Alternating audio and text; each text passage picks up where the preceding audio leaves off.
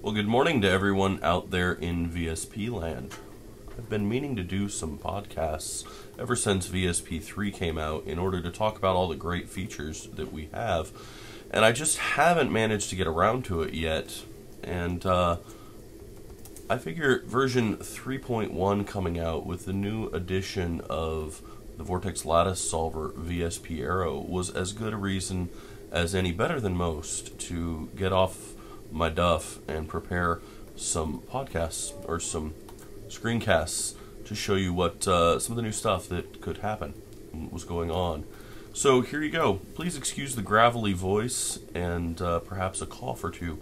I've been a bit under the weather and I'm having a rough time closing off the last little bit of my cold. So VSP Aero is a new aerodynamics code that we've added and uh, it's been developed by Dave Kinney at NASA Ames, specifically to integrate and to work with VSP and to use the degenerate geometry output that uh, was introduced by my grad student a couple of years ago, Joel Belben. If you haven't used the degen geom output, it's underneath the analysis tab and it comes up, it's a pretty simple user interface. It'll write out either a CSV, comma separated variable file, meant for use in Excel. It's kind of friendly, human readable. Uh, and if you want to write a program to parse it, whether that's in Java or Python or whatever, that's probably the easiest way, that CSV file. Or it can write out an M file, and that's a MATLAB file where actually if you then execute that file in MATLAB, all of the, the information from the degen-geom are instantly populating data structures. They become variables in MATLAB to make that really easy to do. Now the degen-geom file has various representations, metageometries as Andy would call them, uh, it includes the entire surface, a thin plate version of the geometry. It degenerates it further into an equivalent stick and then all the way down to an equivalent point. And so there's these successive degenerations, simplifications, you can almost say extractions of the essence of the geometry that are appropriate for various lower order analyses and come in handy. Uh, and that's really what it's all about. And really the idea with degen-geom was just make as many of those available as we could in a file just to see what people would do with it. Now you may not want to use all of the components in your VSP model in that degen-geom component and so you get to choose which subset of components if you're using sets you get to choose which subset to do it on and then you run by just hitting execute. Now VSP Aero is a new analysis capability right here onto the analysis model and when you pop that up it has this new window that comes with in, in VSP 3.1. And right here under case setup, you'll see there's a couple of buttons, and these correspond exactly one-to-one -to, -one to those degen-geom buttons that I was just talking about.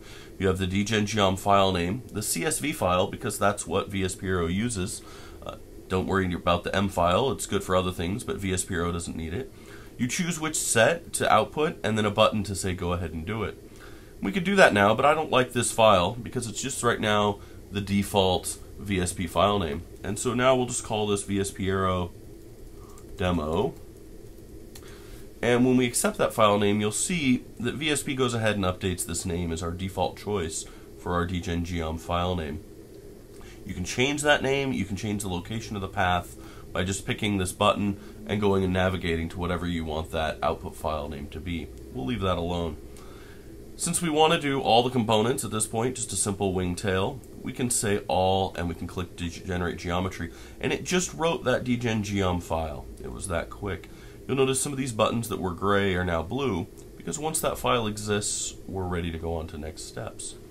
Now a couple of things you should know. In VSP Aero and degen-geom, the actual resolution used for those files is based directly on the wireframe you see on screen. So in this case, if you left that resolution for the wing as it is, you're not going to get a very satisfying solution. So we can come in here very quickly and increase the resolution a little bit on the wing and the tail. We'll just say so that we get a little bit better, we'll take that to 10, a little bit better resolution on both of those to resolve those files. So we've got a little bit better resolution there. And of course, we have to generate that geometry to make sure that our degen represents the current geometry. So I just hit the button again just in case. Now every aerodynamics analysis needs to have a reference area if you're going to output uh, lift and drag coefficients, and you need reference lengths if you're going to output moment coefficients. And so those reference coefficients you can specify them, just whatever values you want, right down here in the VSP Aero GUI. Or if you want to pick them from one of your components, you can choose to pick it from the model. And then you can choose which component you want to use as that reference component. In this case, our reference wing with 4518 and 2.5 as the reference quantities. These are pulled directly from the overall plan form. Now, if your plan form is in fact more complicated, say it has something like a, uh, a Yehudi for a plan form break, and it's instead a bit more complicated of a wing, you may not want to use that exact plan form as your reference wing. You certainly can. This plan form quantity, as it updated, it updated right down here as our reference quantity. So you may want to use that, you may not. If you want to use a different wing as a reference wing, you're welcome to do that too. And uh, if so, any wing that's in this model, you can choose to use that as your reference wing, and there you go.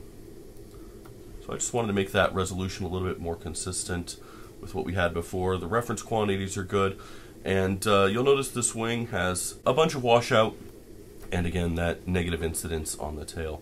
So let's just update that degenerate geometry one last time. We have our reference quantity set. We need to set our slow flow condition. 5 degrees of alpha, no beta, 0.3 Mach. Sounds good to me today.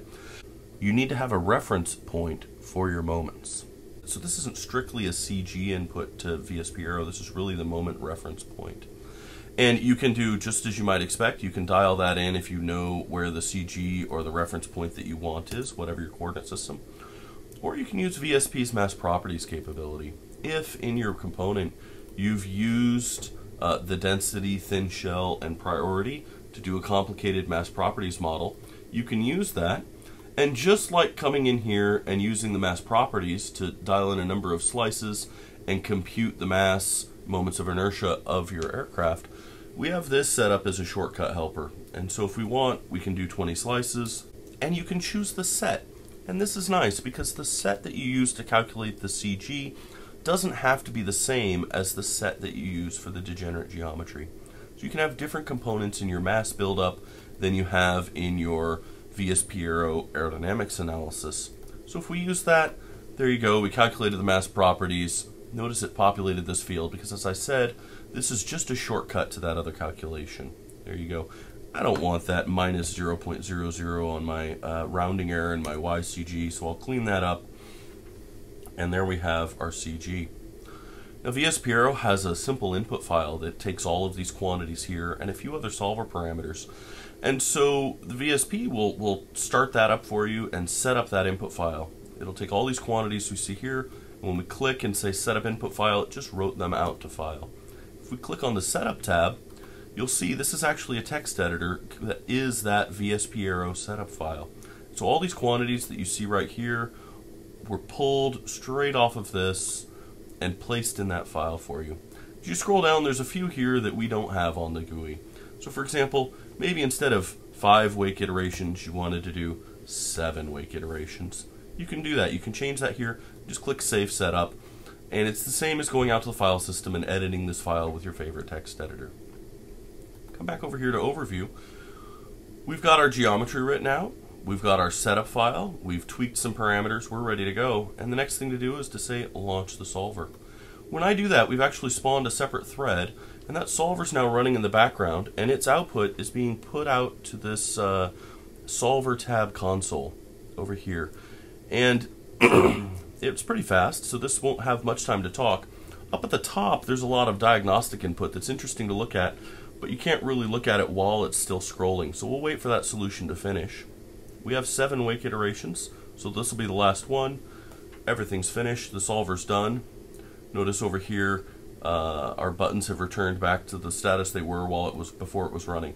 If we come up and look at the top, you'll see this is all the output that VSP Aero has. We use two threads, it echoes the input conditions, and then it goes through and it talks about the geometry, what components it found, how many elements, and uh, the mesh agglomeration, and other algorithmic steps. All right. Once that solution is done, you may want to post-process or take a look at it. And with that, you can launch the VSP Aero viewer. So if we click that button, it launches the viewer itself. And this is a new graphical program that is added into VSP to visualize the results of VSP Aero. So the first thing you probably want to do is turn on the Delta CP view. Since this is a thin plate model, notice how thin that is. Uh, there's no thickness represented. And instead of pressures on the top and bottom surface, you're always representing delta pressures, changes in pressure from top to bottom, upper minus lower. And that's this delta CP on the wing and the tail. You can also visualize the wakes. And so as you come in, there was actually a time stepped wake that relaxed and uh, represents that load distribution. So you can see there's a lot going on there with this wing that was at 5 degrees, but then with a lot of washout and a lot of down incidence on the tail. Well, that is your quick and dirty introduction to VSP Aero. Thanks a lot to Dave Kinney for making that possible, and uh, all the way back to Joel Belben for all the work he did on degenerate geometry. I'll leave uh, exploring the rest and seeing all the capabilities that these tools have to an exercise for the viewer. I think you're probably already anxious to uh, get started and play with it. Feel free to post any questions you might have on VSP or VSP Aero to the Google group and keep your eyes peeled for the next screencast.